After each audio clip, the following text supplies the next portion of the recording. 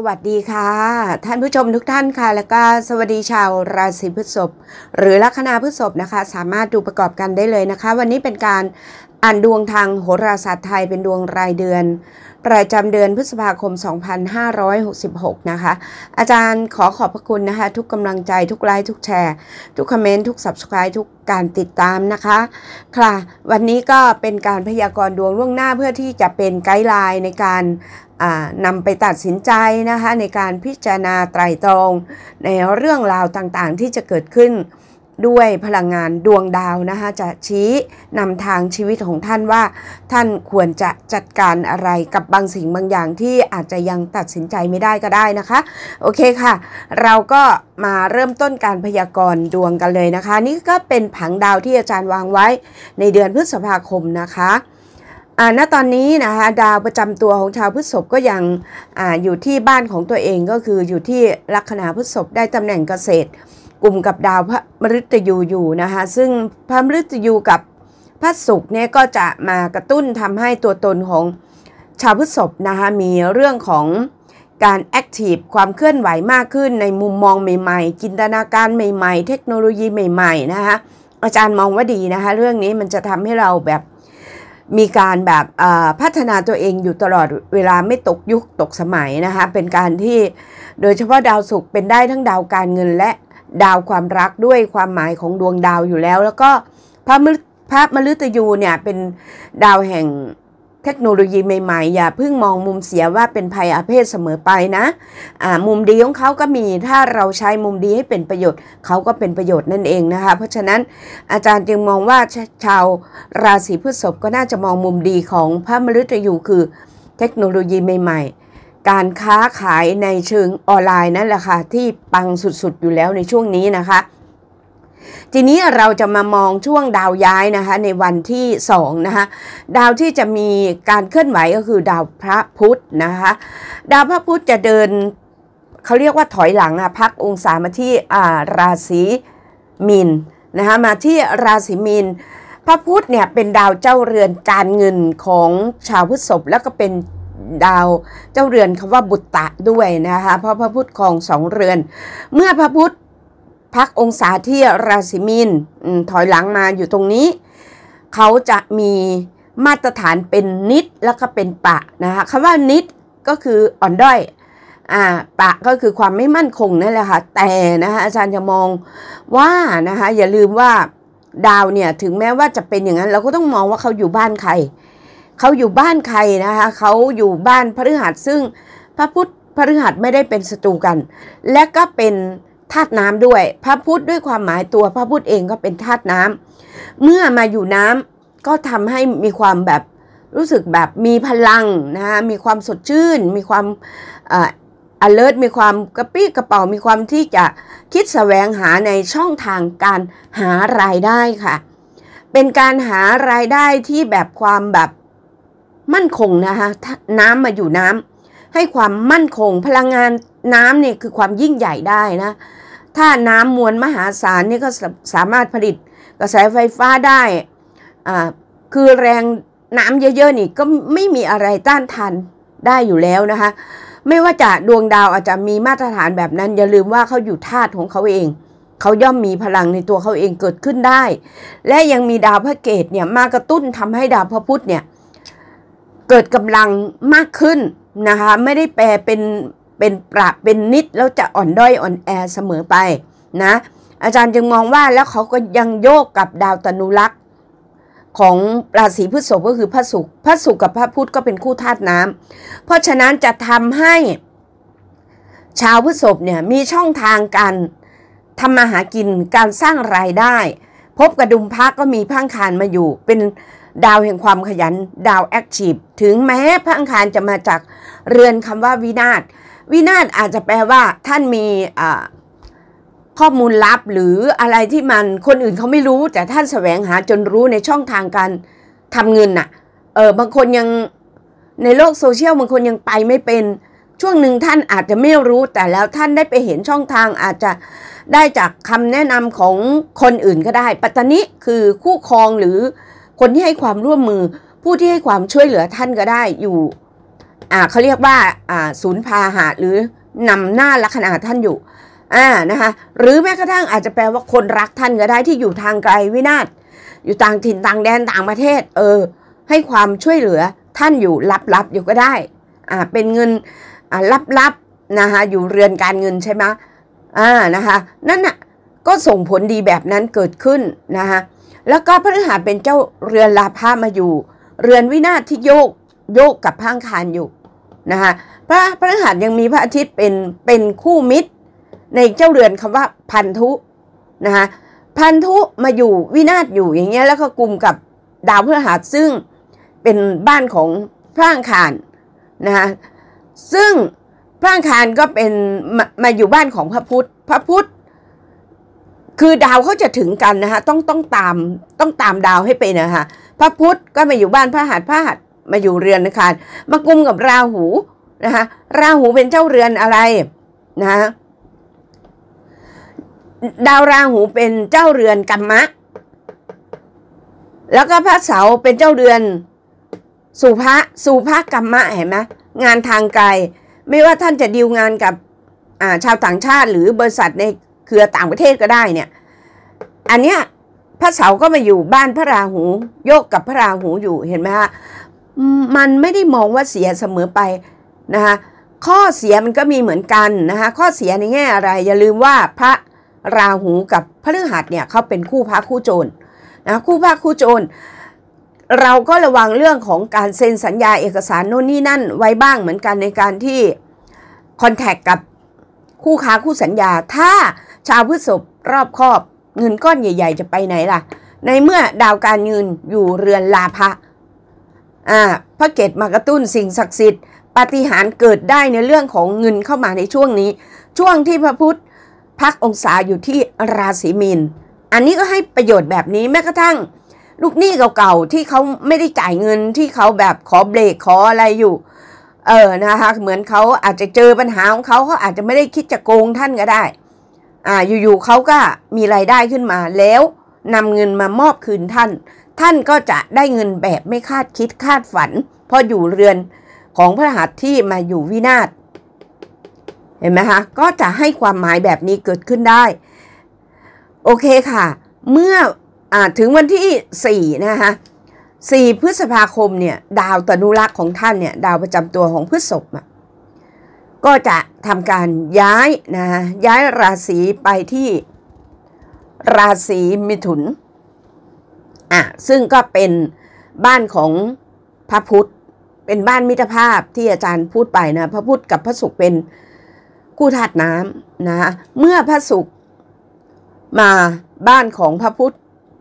แล้วก็มาเจอพระอังคารเป็นคู่มิตรอยู่ตรงเนี้ยอันเนี้ยมุมนะคะมุมในแง่ของ ศูนย์พาหะนำหน้าลัคนา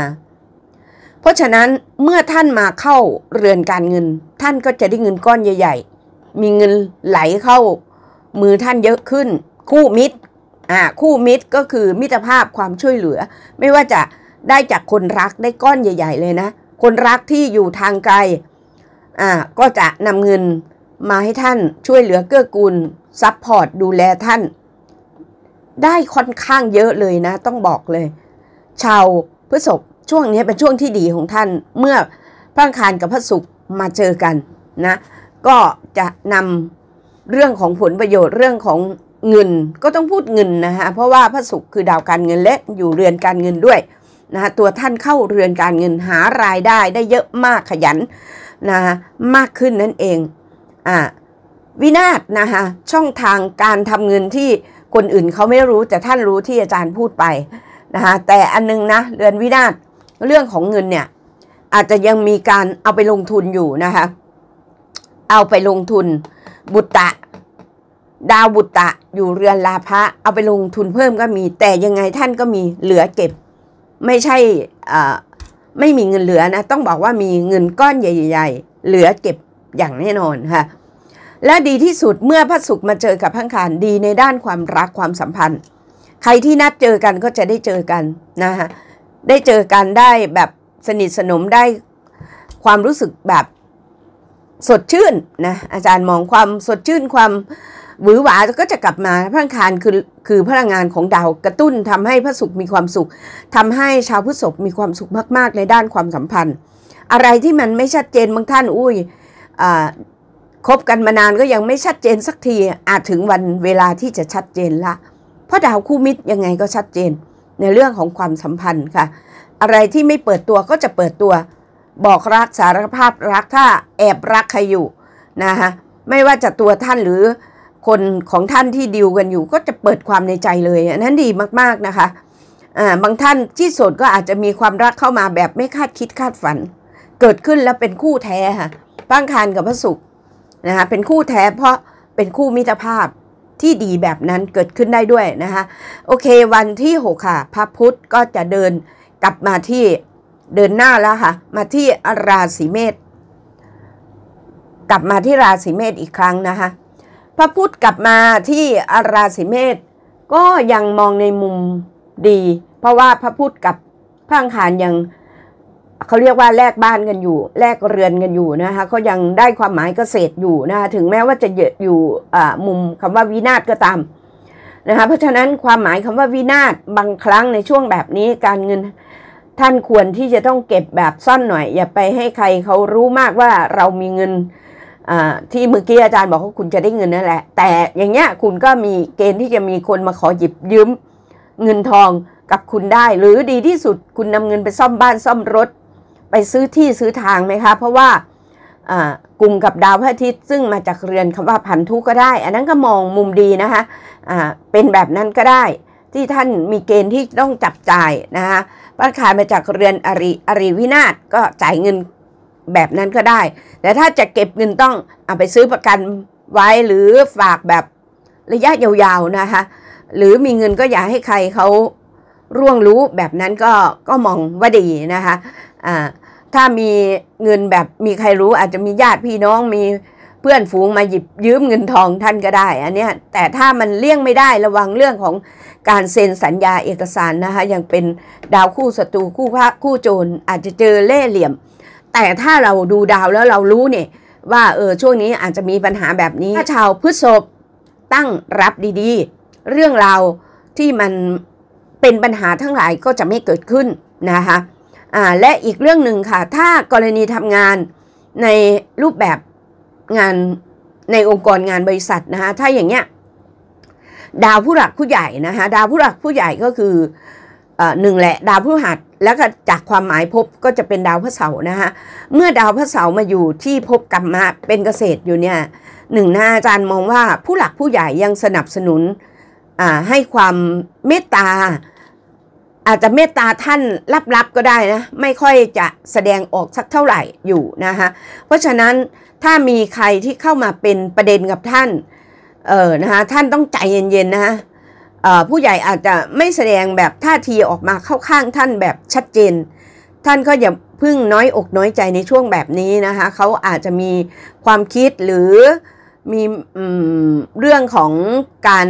แสดงออกทางภาพลักษณ์ทางสังคมก็ได้ นะคะทางสังคมก็คือกรรมะก็เป็นสังคมนะคะะที่จะต้องเหมือนไม่ได้จงแจ้งที่จะสนับสนุนท่านที่จริงแล้วเขายังสนับสนุนชาวพฤษภอยู่อย่างแน่นอนนะคะอาจารย์มองประเด็นแบบนี้นะ อาจจะมีเกิดขึ้นแต่ไม่ได้ทุกคนนะที่จริงมันต้องดูที่ดาวตั้งรับอยู่ด้วยว่าเป็นยังไงโอเค วันที่ 10 ค่ะ วันที่ 10 ดาวพังคารนะคะก็จะ ย้ายราศีนะคะดาวพฤคารย้ายมาที่ราศีกรกฎค่ะ ดาวพังคารมาที่กรกฎ ดาวพังคารเนี่ยนะคะมากรกฎเนี่ยเป็นบ้านของพระจันทร์พังคารกับพระจันทร์เนี่ยเป็นคู่เสน่หาต่อกันนะแต่พังคารมาอยู่ตรงนี้ได้ตำแหน่งเขาเรียกว่านิดนะคะเพราะว่าอยู่ตรงนี้เขาเป็นอุดพอมาอยู่ตรงข้ามเขาจะได้มาตรฐานนิด นิดแปลว่าอ่อนแอนะคะอ่อนแอทีนี้ จะเป็นยังไงนะคะ เมื่อพังคารมาอยู่ตรงนี้ มาอยู่ตรงนี้นำหน้ารักท่านอยู่นะคะพังคารเป็นเจ้าเรือนคำว่า ปัตตานีการให้ความร่วมมือคนรักอะไรประมาณนี้นะคะมาอยู่เรือนสหชาเรือนของของพระจันทร์นะคะเพราะฉะนั้นก็จะมองว่าในเรื่องของสังคมเเพื่อนนะคะมิตรภาพต่างๆนี่อาจจะ เหมือนกับช่วงนี้อาจจะไม่ค่อยได้ติดต่อกันสักเท่าไหร่ก็ได้ กับคนรักก็เหมือนกันนะคะช่วงนี้อาจจะห่างเหินไปนิดนึงอ่าถามคำตอบคำคุยบ้างไม่คุยบ้างก็อาจจะเป็นประเด็นอยู่เหมือนกันนะคะในในคำว่าอ่าเป็นมาตรฐานนิดนะคะเพราะฉะนั้นคนรักของท่านอาจจะมี โลกที่อยากจะอยู่คนเดียวเงียบๆบ้าง อันนั้นก็ไม่ต้องไปวุ่นวายใจ เพราะยังไงก็ไม่ได้แปลว่าท่านต้องต้องเลิกกันนะคะเพราะยังไงก็ยังอยู่ในความหมายคำว่าสหชาสหชาก็ยังเป็นเพื่อนเป็นมิตรภาพอยู่ไม่ได้ความหมายแย่นะคะ แต่ว่าออพอเป็นนิดเนี่ยเขาอาจจะมีเวลาให้ท่านน้อยลงแค่นั้นเอง อาจารย์มองนั้นในเรื่องของความรักนะคะ แต่ถ้ามองในเรื่องของการสังคมเนี่ย นะคะตัวท่านเองนะหาที่จะต้องเป็นฝ่ายที่จะต้องเขาเรียกว่ากระตุ้นตัวท่านเองให้มากขึ้นในช่วงนี้เพื่อจะเร่งทำงานนะคะให้เขาเรียกว่าการติดต่อมันส่งผลมากขึ้น ถึงแม้พังคารจะเป็นนิดอยู่ตรงนี้ แต่ก็ไม่ใช่ว่าพังคารอยู่ตรงนี้เท่ากับอยู่เรือนกระดุมพระของท่านนะ กระดุมพระของตตนุรักษ์แต่สหัชะของลัคนาจะคนละความหมายนะคะ ในมุมสาชาของลัคนาแต่ในมุมกระดุมพระของตนุรักษ์ก็คือพระศุกร์เพราะฉะนั้นมันก็แปลว่าท่านเนี่ยจะต้องเร่งทำผลงานเร่งหาเงินหารายได้ ขอให้ท่านเป็นฝ่ายที่จะเข้าหาแค่นั้นเอง ทุกอย่างยังมีโอกาสดีๆ เกิดขึ้นสำหรับท่านได้อย่างแน่นอนนะคะเพราะว่าตัวท่านเองจะต้องเร่งจริง ๆ ค่ะคู่พัฒนานะคะพระศุกร์เนี่ยตีกนกับพระเสาร์ ในมุมเขาเรียกว่าตีโกนเนี่ยพระศุกร์กับพระเสาร์ให้ผล บางทีเขาบอกว่าเป็นคู่ศัตรูถ้าเรามองในมุมดีอาจารย์มองว่าเป็นคู่พัฒนาคู่แอคทีฟโดยเฉพาะในเรื่องของการทำมาหากินนะฮะการพัฒนาตัวเองสุภาการวางแผนในเรื่องของการเติบโตท่านสามารถทำได้ วางแผนก็คือดาวพระพุธเพราะท่านมาอยู่เรือนการเงินเห็นไหมฮะในเมื่อท่านมาอยู่เรือนการเงิน แล้วก็โยกกับพระ พระพุทธอยู่ท่านต้องวางแผนในเรื่องการหาเงินหาหารายได้เกิดขึ้นให้เกิดความมั่นคงนะคะให้เกิดความมั่นคงต่อตัวท่านเอง พระพุทธเป็นเจ้าเรือนพันธุนะคะอ่าเจ้าเจ้าเจ้าเรือนอ่าเจ้าเรือนบุตรตาโทษทีค่ะเป็นเจ้าเรือนบุตรตาและกลุ่มกับพระอาทิตย์ที่เป็นมหาอุดในพวกเรือนคำว่าพันธุทำให้ตัวเองมั่นคงนะคะยิ่งมีดาวตัวช่วยคือพระรหัสเป็นราชาโชคอยู่ แล้วก็โยกกับ ตัวท่านอยู่ ก็ยังเป็นช่วงที่ดีนะคะแม้ว่าจะคำว่าวินาศท่านก็ไม่ไม่ต้องไปมองในจุดเสีย แต่ตรงเอาจุดเด่นของดวงดาวมาใช้ก็ได้ในภพเรือนนั่นเองนะคะอ่าเพราะพระรหัสเป็นเรือนลาภะแล้วเราจะทำยังไง หารายได้ที่มันมันอ่าอาจจะอ่อนแอลงไปหรืออะไรลงไปอย่างเงี้ยนะคะในมุมของการคอนแทคแต่ถ้าเราเข้าหาเราผลักตัวเราเข้าไปข้างหน้า เดินหน้า ความสำเร็จจะเกิดขึ้นคู่พัฒนานะคะกับพระเสาร์นั่นเองนะคะ โอเคค่ะ ในวันที่ 15 ค่ะ ดาวพระอาทิตย์นะคะก็ย้ายราศีมาที่ราศีพฤษภพระอาทิตย์นะคะเดินมาที่พฤษภมาทับลัคนาท่าน ซึ่งพระอาทิตย์กับตัวท่านเนี่ยเขาเรียกว่าคู่สมพลต่อกันนะคู่สมพลความยิ่งใหญ่นะคะความโดดเด่นขึ้นมาละพระอาทิตย์ก็ยิ่งมากระตุ้นทำให้ พระมฤตยูเนี่ยนะคะผลักดันทำให้เกิดความสว่างในเรื่องของช่องทาง อาจารย์ก็ยังมองเรื่องของช่องทางการการหาเงินหาไรายได้อยู่ดี เพราะตัวท่านอยู่เรือนการเงินก็ก็ต้องมุ่งประเด็นในเรื่องของการหาไรายได้ให้มากล่ะค่ะในช่วงนี้สำหรับชาวพฤษภนะฮะยังมีโอกาสดีๆเข้ามาตลอด แต่ช่วงที่พระอาทิตย์ย้ายมาเจอพระมฤตยู ช่วงสักประมาณสี่ห้าวันเนี่ยอาจจะต้องระวังในเรื่องของอุบัติเหตุเล็กๆบ้างก็ได้นะคะเพราะพระพุทธโทษทีค่ะพระพระอาทิตย์มาจากเรือนคำว่าพันธุอ่าอาจจะเป็นเรื่องของยานพาหนะอ่านะคะอันนี้ต้องระวังยังยังมีแรงประทะกันอยู่ แต่จะช่วงแค่ 5 วันแรก นะคะหรือระวังสุขภาพอาจจะเป็นเรื่องของสายตาระบบเลือดมีปัญหานะคะพอผ่าน 5 วันก็จะดีขึ้น ท่านอาจจะต้องแก้ดวงด้วยการทำบุญนะคะปล่อยปลาเติมน้ำมันตะเกียง ขอพรองค์สิ่งศักดิ์สิทธิ์ที่ท่านเคารพบูชานะคะไปไหว้พระประธานในโบสถ์ก็ได้อ่าอย่างเงี้ยจะช่วยแก้ในช่วง 5 วันแรกของดาวอาทิตย์ที่มาเจออดาวมฤตยูนะคะก็อาจจะเป็นประเด็นเพราะจริงๆแล้ว จะเป็นดาวที่เป็นปัญหาในเรื่องสุขภาพ โดยเฉพาะใครที่มีปัญหาสายตาความดันเนี่ยก็จะมีปัญหาหรือเรื่องของอุบัติเหตุเล็ก ๆ เนี่ยอาจจะเกิดขึ้นได้แต่แต่ผ่าน5วันนี้อาจารย์มองว่า ดาวเขาจะเริ่มนิ่งละไม่ไม่มีปัญหาอะไรแล้วก็ก็ทำในสิ่งที่ท่านควรทำจิตวัตรประจำวันต่อได้เลยนะคะ พอวันที่อ่าสิบเก้านะคะ ดาวพระเกตเนี่ย ก็จะย้ายมาที่ราศีสิงห์เนี่ยก็จะเป็นแรงกระตุ้นอีกนะคะพระพระเกตจะเดินสวนทางกับดาวอื่นๆนะคะพระเกตกับพระราหูเขาจะเดินย้อนแบบนี้นะคะพอพระเกตมาอยู่ราศีสิงห์ซึ่งดาวเจ้าเรือนราศีสิงห์คือพระอาทิตย์เนี่ยกลุ่มลัคนาท่านอยู่เนี่ยก็ยิ่งส่งผลนะหนึ่งแหละอาจารย์มองมีเทพมีสิ่งศักดิ์สิทธิ์นะคะดาวพระเกตคือสิ่งศักดิ์สิทธิ์ช่วยคุ้มครองดวงชะตาท่านละ อ่านะคะท่านยังมีเกณฑ์ในเรื่องของไปต่างประเทศนะคะพระเกตเกี่ยวข้องกับต่างประเทศ พันธุการเดินทางได้อ่าอาจจะไปเจอคนรักก็ได้นะที่เรารออยู่ต่างประเทศไหมหรือแม้กระทั่ง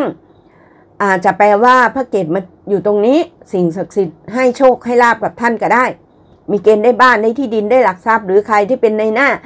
ขายที่ดินอสังหาริมทรัพย์อุ้ยขายไม่ออกสักทีเมื่อไหร่จะได้เงินก้อน นะฮะตรงนี้เลยแหละค่ะ เพราะพระอาทิตย์เนี่ยมาทับลักต้องเป็นแรงมหัศจรรย์แรงแบบเขาเรียกพลังจักรวาล เพราะพระอาทิตย์เป็นดาวเลิกดวงใหญ่ ในจักรวาลที่จะส่งผลนำพลังงานที่จะเป็นแรงบันดาลให้ชาวพฤษภได้โชคลาภได้ปฏิหารเกิดจากดาวพระเกตด้วย จากพลังงานจักรวาลด้วยทำให้ท่านมีโอกาสดีๆ ในเรื่องของการ ได้เงินก้อนใหญ่ๆนะคะได้เงินก้อนใหญ่ๆอย่าลืมว่าพระศุกร์อยู่เรือนการเงิน อืมยังโยกกับพระพุธดาวการเงินอยู่นั่นเองนะคะ ก็ยังส่งผลดีแบบนี้นะคะหรือเรื่องของความรักนะคะ ก็ยังมีการสนับสนุนกันอยู่ตลอด บางทีก็ยังสนับสนุนแบบลับๆอยู่ก็มีนะคะ แต่นั่นแหละค่ะ ใครที่คบกันแบบเปิดเผยจงแจ้งไปแล้วที่อาจารย์พูดนะคะก็ยังแปลว่าสนับสนุนท่านอยู่ตลอดเวลานั่นแหละ นะคะก็ไม่ได้มีอะไรที่จะเป็นประเด็นนะ อาจารย์มองนะถึงแม้ว่า ดาวความรักท่านจะเป็นมาตรฐานเขาเรียกว่าเป็นนิด ก็อาจจะแปลว่าเขายอมท่านมากขึ้นก็ได้นะคะอ่าพังคารยอมยอมชาวพฤษภมากขึ้นนั่นเองนะคะ โอเคค่ะในวันที่ 30 ค่ะ ดาวพระศุกร์นะคะจะย้ายไปที่ราศีกรกฎ อันนี้ดีสุดยอดเลย ก็ตามมาเจอพังคารอีกโอ้ก็จะทำให้พังคานี่มีพลังขึ้นมาทันทีเลย เพราะว่าอะไรพระสุขได้มาตรฐานราชาโชค ราชาโชค โชคก้อนใหญ่ ๆ ไม่ต้องซื้อต้องหาก็มาเอง เออมีโอกาสที่จะแบบ คือมีความมีเสน่ห์มีพลังแบบมีออร่าท่านอะเพราะดาวตนุรักษ์ท่านเข้าเรือนคำว่า สหาชาสังคม ใครในสังคมเพื่อนฝูงอุ้ยทุกคนนะเหมือนกับ ใครที่เคยแบบ ไม่มองท่านหันกลับมามองท่าน เชื่อไหมเออ มันมีพลังงานแบบความมีเสน่ห์เกิดขึ้นนะนะคะ และก็อันนึงที่จะดีที่สุดคือการทำให้โปรไฟล์ตัวเองดีนะ การดูแลตัวเองไม่ว่าจะเรื่องของผิวพรรณเรื่องของการแต่งเนื้อแต่งตัวนะ รูปร่างหน้าตาต้องพยายามแบบแบบปรับตัวเองนิดหนึ่งอะ่ะ นะคะยิ่งจะดีมากๆเลยในช่วงแบบนี้ที่ท่านเป็นราชาโชคอะ่ะโชคลาภจะเข้ามาก้อนใหญ่ ๆ เงินก้อนใหญ่ ๆ จะเข้าถึงตัวท่านนะคะอ่าได้แบบไม่คาดคิดคาดฝันไหมอ่ากระดุมพระอยู่เรือนวินาศแบบไม่คาดฝันนะคะยังมีโอกาสได้นะ หรือใครมีปัญหาเรื่องของคดีความเรื่องอะไรเรื่องการเดินเรื่องเอกสารทางการเงินที่ยัง รับไม่ได้เออบางท่านนะเป็นเรื่องของเอกสารอยู่ก็มีนะพระพระราหูกับพระพุธเนี่ยเออพระรหัสเจ้าเรือนลาพามาอยู่ตรงนี้อยู่เป็นราชาโชคเห็นไหมอ่านะคะก็ยังมีโอกาสได้แบบไม่คาดฝันในก้อนใหญ่ ๆ เกิดขึ้น